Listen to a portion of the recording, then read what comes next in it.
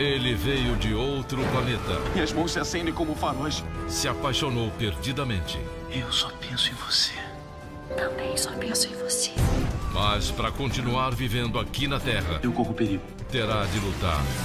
Eu vou acabar com todos vocês.